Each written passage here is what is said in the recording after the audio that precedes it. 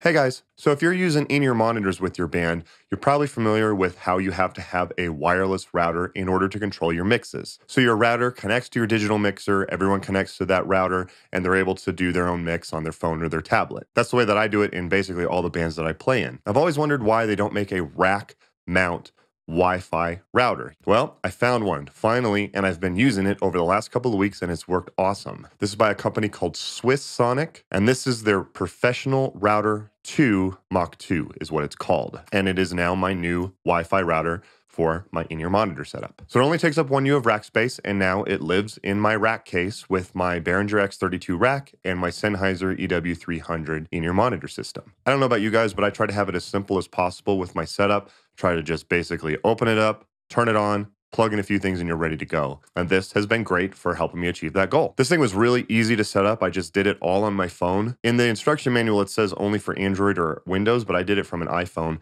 It was super easy. It's actually one of the easiest routers I've ever set up. It has the antennas in the front, which is awesome. This is a dual band router, so it transmits in 5G and on 2.4 gigahertz, but they have antennas in the front and you can see that it's labeled here's a 2.4 gigahertz antenna and then here's a 5G antenna. Screw them in in the front. And that's what's really cool about this system system is that I was looking, you know, this was the old router that I was using and it worked great. But the thing is, is that, you know, this is, these are how the antennas come up like this.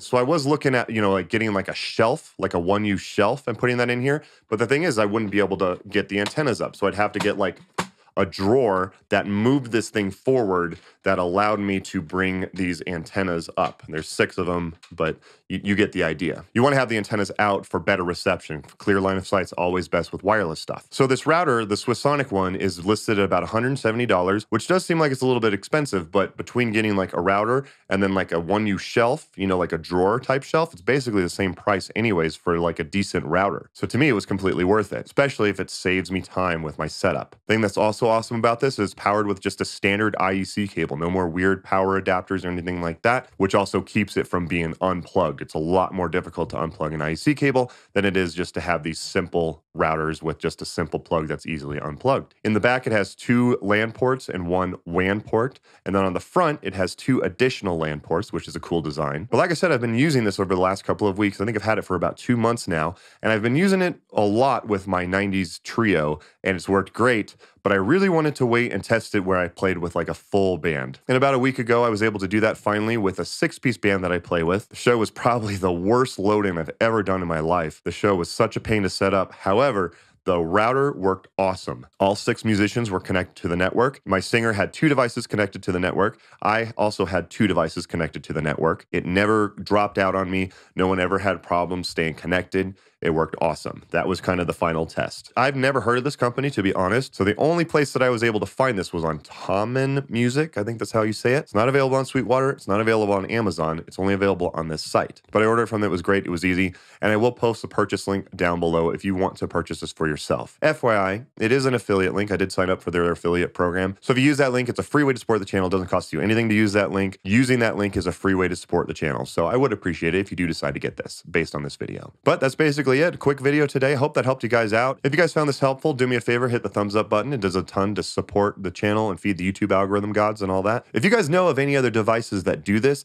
please leave a comment down below. I'm definitely curious to check them out. I know there is one other one by Waves, but it was $600, whereas this one's 170, so this was the obvious choice. But if you guys know of any other cool stuff like that, please leave a comment down below. So I do have a video about my compact portable in-ear monitor rack setup. I just said how much I like to just have everything connected, but also I can't fit these massive rack cases, you know, in my little Kia car. So I have to find a way to have it a little more compact. So I do have a video specifically about my compact in-ear monitor setup. I also have a video about 10 items that have helped me out with my in-ear monitor setup. So check out both of those videos by clicking the links on your screen now. Don't forget to follow me on my social media pages at Scott Uhl Music on Facebook, Instagram, and Twitter. Thank you guys again for watching. Don't forget to leave a comment down below with more gear suggestions. Don't forget to like and subscribe. Thank you for watching, and I'll see you next time.